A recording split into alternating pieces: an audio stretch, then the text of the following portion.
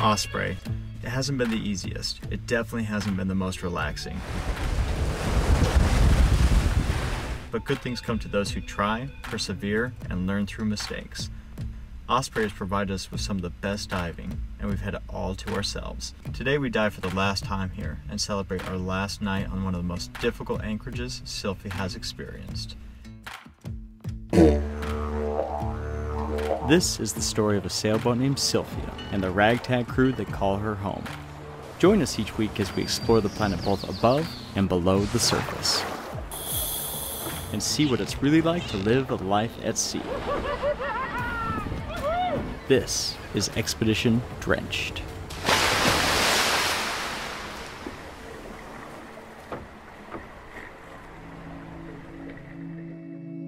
It's four o'clock in the morning, and it's been a pretty rough night on Sylfia. We are, as you know, on a super, super sketchy mooring right next to a really, really shallow reef, reef sticking up out of the water. And all night it's just been like huge squalls up to like 40 knots of wind. And the squalls were unsettling, but in the worst case, if we did break the mooring, we would just drift back into the open ocean. But the one thing happened that we thought couldn't happen, and we had swung around and we were in five meters of water. Um, and if we would have kept swinging a little bit more, then Sylfia would just be literally just smashed onto the reef. And it's just finally starting to catch up to me, just every night feeling like we have these huge emergencies and I don't know, I just feel really, really just over it right now, honestly. I just want things to be easy for like one day, you know?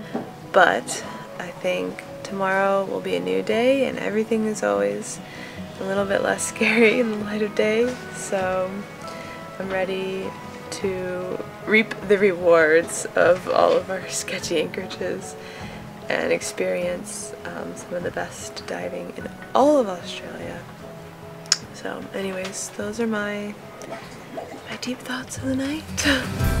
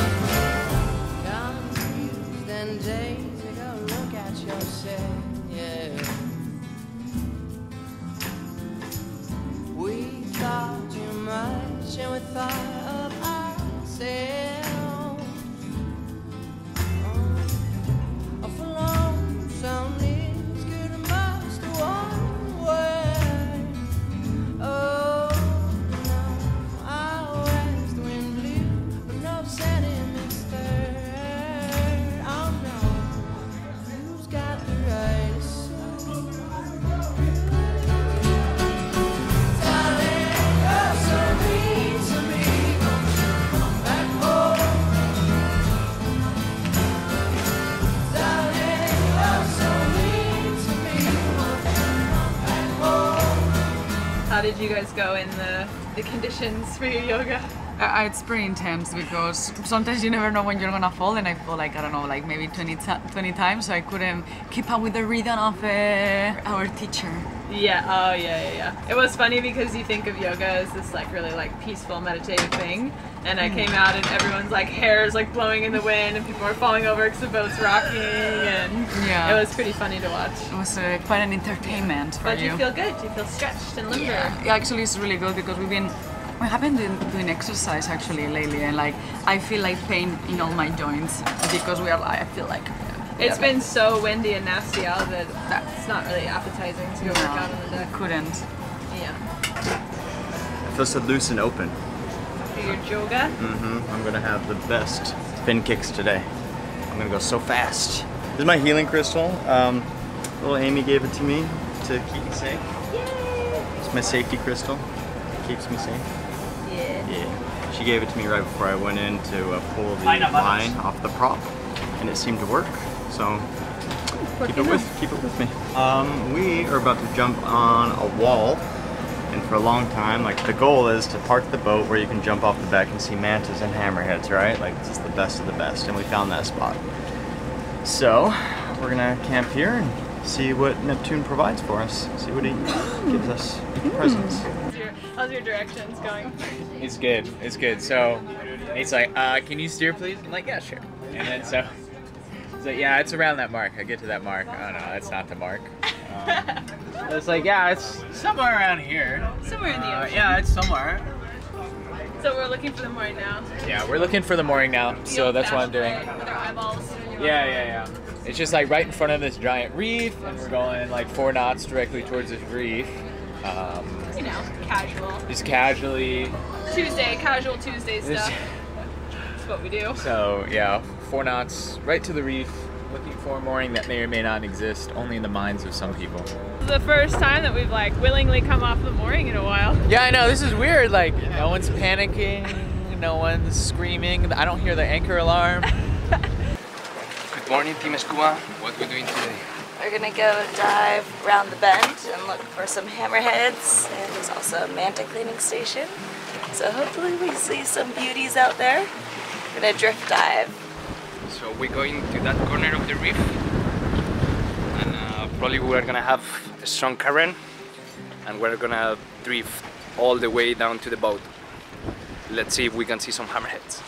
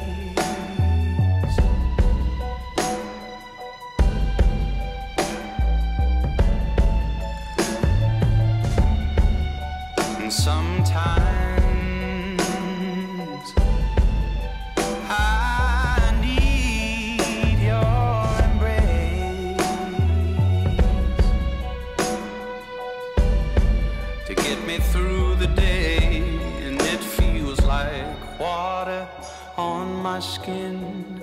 It feels like being born again. It feels like learning how to stand if standing was.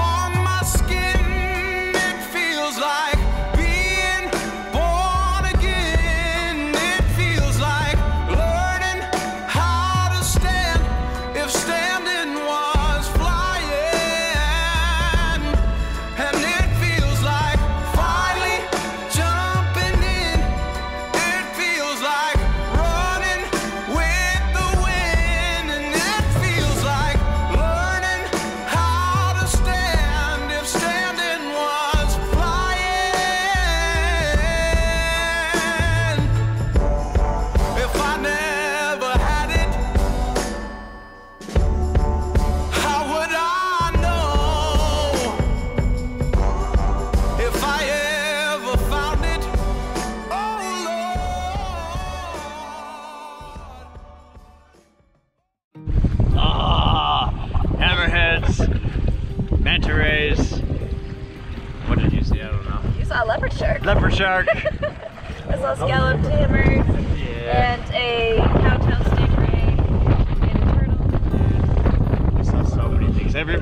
some things off their boxes, stuff they've never seen before. I'd never seen a leopard shark, so that's cool. Hammy and Ollie's first. Well, second. hammerhead. Second, in the same dive. So sweet, man. So we're at the dream spot. I um I guess I've been like hoping for some time that we would find a spot that I could just jump off the back of the boat and not just see cool stuff, but just see incredible stuff, stupendous stuff. Yeah, that's what I've been hoping for, and um, we found it. So we're at this this um, wall. Um, there was a manta ray like right under the mooring line, and hammerheads and my first leopard shark I've never seen. And the coral is soft coral. It's just massive, like literally like branches like the size of my arm. Like I've never seen anything like it. Um, clown triggerfish, just really really cool dive right here. I just I'm pretty stoked on it. We just I feel like the whole place to ourselves, the whole reef to ourselves, and um, yeah, it's just amazing diving. And I'm really enjoying seeing um, the new crew really just fall in and I can see the, their love for, for diving and the underwater world growing day by day as well.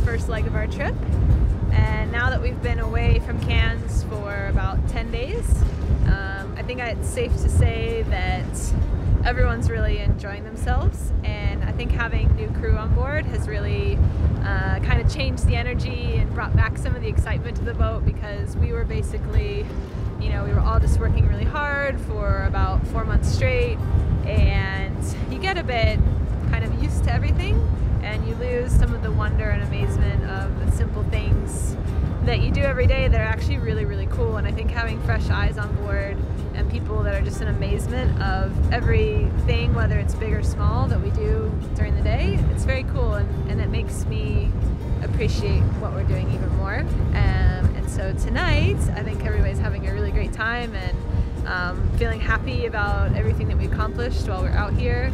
And everyone's having a few drinks, and it's a pretty good time on board. So let's uh, go inside and see how everything's going in there. Let's go.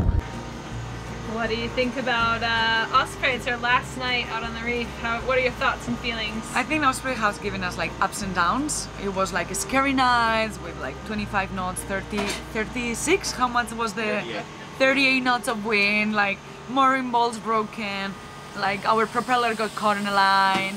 But at the same time, it gave us like hammerheads, manta rays, like lots of sharks, like little nice creature on the reef, like the parrotfish, bumphead. So I think it was pretty even with the good and bad things about Osprey. So I'm sad to leave because I would like to explore more. And for me, being able to see some of the hammerheads that I didn't get to see, that is always the same. You remember in Fiji, I didn't get to see the hammerheads either. Oh yeah. But I- My I favorite did. moment of Fiji uh, was when I saw the hammer. No, no, I didn't see the hammer. So now I'm, I'm happy to keep on moving and to see more stuff. We're going to another reef, we will dive more there, and then we will make our way to Thursday Island and to see another place, another culture, more people, and let's see. I'm, I'm very, I'm very happy. I'm ready to leave. Yeah. Did you bring your What's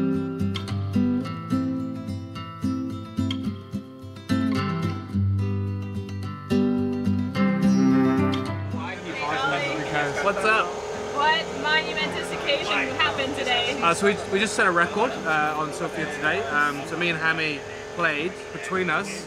How many games did we play between us? Six? Like six. Six games of Catan. There was a couple of games uh, that were played when we went for dives. So I think the record of eight games of Catan was played on Sofia today, which is a record. Dun, dun, dun. So um, yeah, proud moment for both of us. Just want to thank uh, little baby Jesus for giving us strength to uh, get through that last game.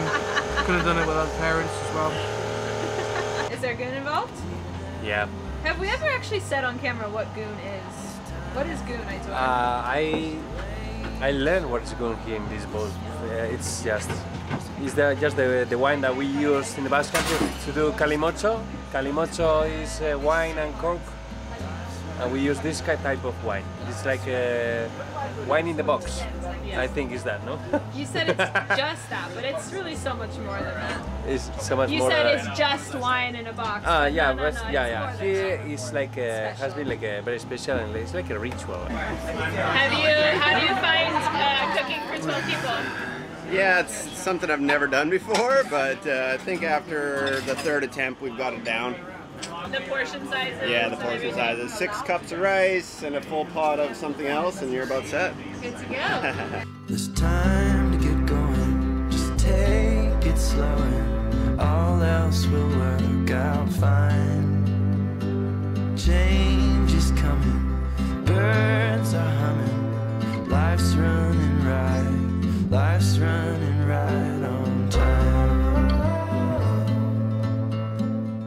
Next time on Expedition Drench, we set sail and arrive to the Greater Detached Reef at sunset. It's the second most inflamed moon I've seen today. God damn, that was a good one. Got it. Oh man. Don't worry, I won't put anything. In Yeah, don't put I won't put anything in the videos about your asshole. That one's for you and me.